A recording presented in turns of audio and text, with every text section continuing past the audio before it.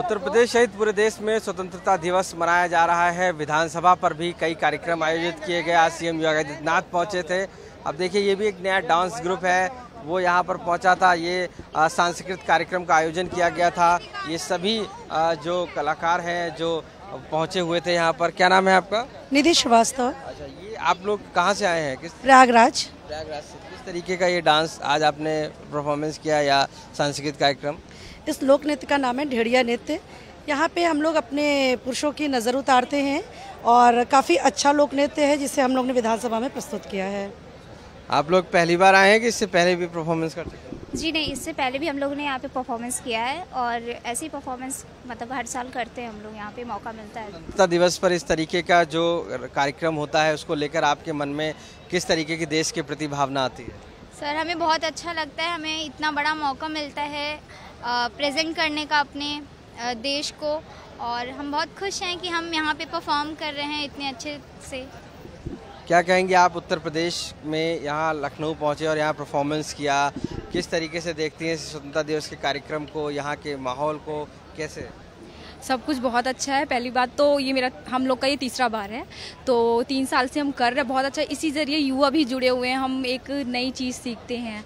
और बहुत अच्छा लगता है हर एक हर एक एक्सपीरियंस बहुत अच्छा होता है नए लोगों को देखना। और इसी में हम अपने स्वतंत्रता दिवस पर क्या कहना चाहेंगे? बहुत अच्छा लग रहा है। हमारे सामने थे बहुत अच्छा हमको फील हुआ बहुत अच्छा लग रहा है। पंद्रह अगस्त आज़ादी का दिवस ये भाव और यहाँ पर आप लोगों का सीएम योगी आदित्यनाथ के सामने परफॉर्मेंस उसको लेकर। सेवेंटी एट हो चुका है ईयर हम लोग को आज़ाद हुए तो इसके लिए मैं सबको हैप्पी इंडिपेंडेंस डे कहना चाहती हूँ। सो so, हमें बहुत अच्छा लग रहा है यहाँ परफॉर्म करके हम लोग ट्वेंटी जनवरी को भी परफॉर्म कर चुके हैं आरडी परेड में जाके और ये हमारे लिए बहुत ही ऑनरेबल बात है। ये नृत्य आपका क्या मैसेज देता है?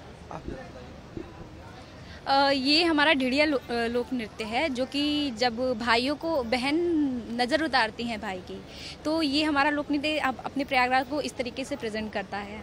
क्या नाम है आपका? निधि श्रीवास्तव। ये आज आप लोगों ने जो डांस परफॉर्मेंस की वो किस तरीके की है किस तरीके का है? ये प्रयागराज का पारंपरिक लोक नृत्य है जिसका नाम है ढेड़िया लोक नृत्य। इसका क्या मैसेज होता है आज? यहाँ पे घर के पुरुषों की नज़र बहनें उतारती हैं और कहा जाता है कि रामचंद्र की नज़र भी उतारी गई थी जिससे उन्हें नज़र ना लगे। okay. आपका क्या नाम है? मेरा नाम स्नेही शर्मा है। ये बताइए कि इस भाव को आज कैसे देखती हैं कि जो 15 अगस्त भी है देश के प्रति संबोधन सीएम योगी आदित्यनाथ का उसके बाद आप लोग यहाँ पर पहुँचे किस तरीके से पूरा यहाँ पे हम लोग बहुत काफ़ी दो चार दिन पहले से आए हुए हैं रिहर्सल चल रही थी और काफ़ी मेहनत के बाद आज हम लोग यहाँ पे परफॉर्म कर पाए हैं। और बहुत अच्छा लगा यहाँ पे सीएम सर के सामने परफॉर्म करके। इसमें बहुत ही मेहनत लगती है यहाँ तक आने के लिए। तो बहुत स्ट्रगल के बाद हम लोग यहाँ पहुँचे परफॉर्म किए बहुत अच्छा लगा। हर साल आप लोग चाहते हैं इस तरीके से? बिल्कुल हमेशा चाहेंगे कि ऐसा मौका मिलता रहे। योगी आदित्यनाथ के लिए क्या कहेंगे उत्तर प्रदेश के जो मुख्यमंत्री?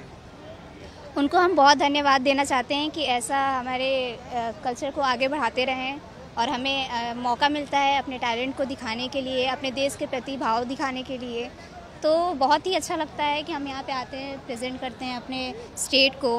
स्वतंत्रता दिवस के मौके पर विधानसभा पर आज रंगारंग कार्यक्रम आयोजन किए गए। इस दौरान जब झंडा फहराया गया उस दौरान सभी चौराहों पर जो रेड सिग्नल थे उनको थोड़ी देर के लिए बंद कर दिया गया यानी कि पूरी तरीके से उस राष्ट्रगान के समय पर बंद कर दिए गए। यही नहीं आज के समय स्वतंत्रता दिवस पर जिस तरीके से तैयारियाँ थी, लोग यहाँ पर काफ़ी पहुँचे थे अलग अलग तरीके से और यहाँ पर वो सभी इस 15 अगस्त यानी कि स्वतंत्रता दिवस पर उन्होंने इस आयोजन को देखा। सीएम योगी आदित्यनाथ ने कई सारी बातें कही जिसमें कई उत्कर्ष और वीरता पुरस्कार भी दिए गए इसमें साफ़ तौर से अगर बात करें तो कहीं ना कहीं अतीक अहमद जैसे मामलों में जिन पुलिस वालों ने इनकाउंटर किया, उनका भी वीरता पुरस्कार मिला। और ऐसे में सीएम योगी आदित्यनाथ आज मौजूद होकर उन्होंने देश के प्रति समाज के प्रति अपनी प्रति दिखाई। तो कहीं ना कहीं प्रदेश के लिए और ये बड़ी चीज़ें हैं और ऐसे में यहाँ पर साफ़ तौर से जो लोग मौजूद थे, जहाँ पर जो कार्यक्रम आयोजित हुआ था, उसको लेकर सभी उत्साहित थे, क्योंकि तो 15 अगस्त का एक कार्यक्रम और विभिन्न प्रकार के जो आयोजन किए गए, जिसमें वीरता पुरस्कार हो, शहीदों का सम्मान हो और इसके साथ साथ नागरिकताओं को उनको उच्च सम्मान भी दिया गया।